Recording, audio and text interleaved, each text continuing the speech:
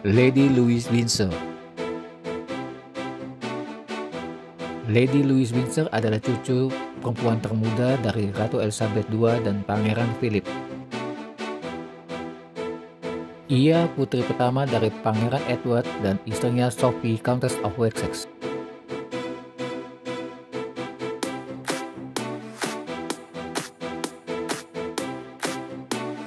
Lady Louise lahir pada tanggal 8 November 2003 secara tiba-tiba.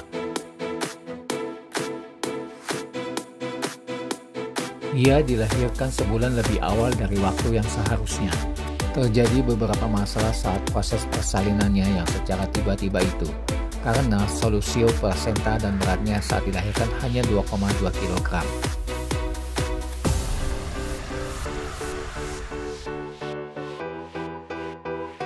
Kelahirannya saat itu pun dinyatakan prematur.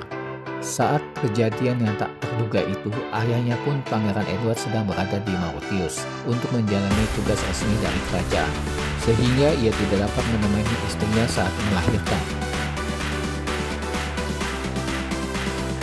Tak hanya itu saja, saat itu Lady Louise juga mendapat kelainan pada matanya.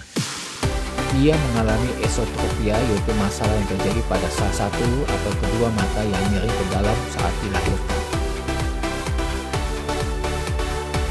Daya penglihatannya menjadi tidak baik dan pada tahun 2016 ia harus menjalani operasi namun mengalami kegagalan. Akhirnya Lady Louise baru dapat melihat dengan sempurna saat usianya menginjak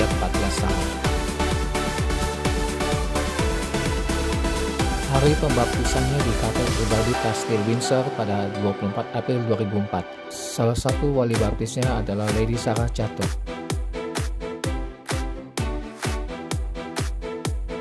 Di bagian utara Provinsi Manitoba, Kanada, terdapat sebuah danau dengan nama Danau Lady Louise, yaitu pemberian nama yang diberikan oleh Gubernur Manitoba saat ayahnya berkunjung pada tahun 2008.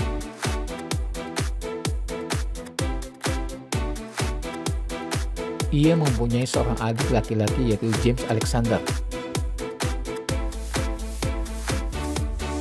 Pada tahun 2017, Lady Louise menempuh sekolah dasarnya di St. George School, Castle Windsor, kemudian di, ia dipindahkan ke St. Mary School, Escort.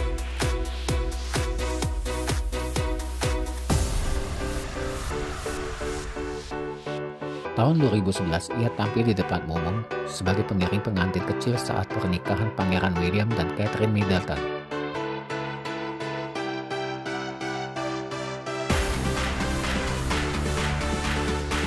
Saat usianya masih kecil, Lady Louise sudah diajarkan menunggang kuda.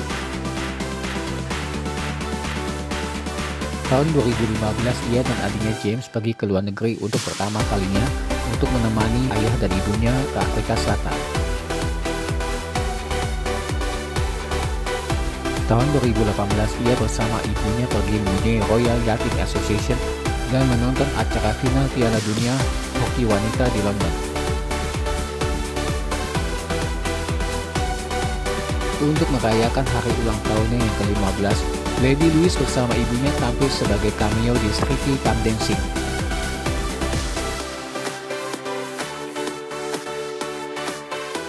Tahun 2019, Lady Louise mengikuti lomba kereta kuda private driving single di Royal Windsor Horse Show dan ia meraih juara ketiga.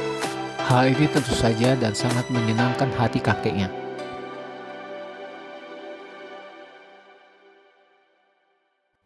Tahun 2021, Lady Louise mendapat hadiah dari kakeknya Pangeran Philip seekor kuda poni dan sebuah kereta kuda milik kakeknya.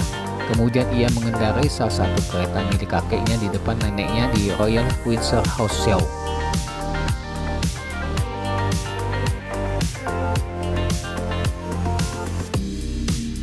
April 2021, ia hadir di acara pemakaman kakeknya.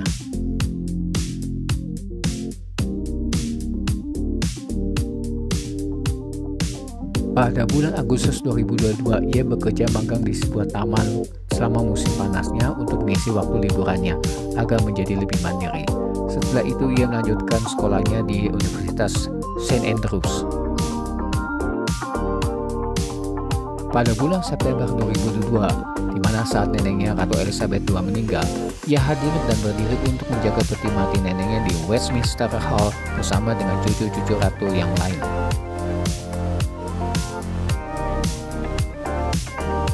Kemudian pada bulan Mei 2023, Lady Louise juga ikut hadir dalam acara penobatan paman dan bibinya yaitu Raja Charles III dan Camilla.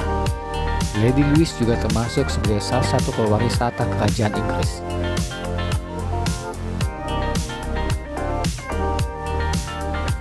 Namun kedua orang tua mereka setelah menyatakan untuk tidak memberikan gelar pangeran dan putri sebagai gelar kerajaan kepada putra-putri mereka sejak mereka lahir. Lady Louise sangat tertarik dengan militer sama seperti mendiang neneknya. Suatu saat ia berharap bisa berkarir di angkatan darat agar ia bisa mengabdi kepada raja dan negara. Ia juga mengikuti pelatihan militer di kampusnya. Di waktu luangnya, Lady Louise bekerja di perkebunan. Ia menjadi anggota relawan di Tutor the Nation, yaitu suatu lembaga amal pendidikan daring.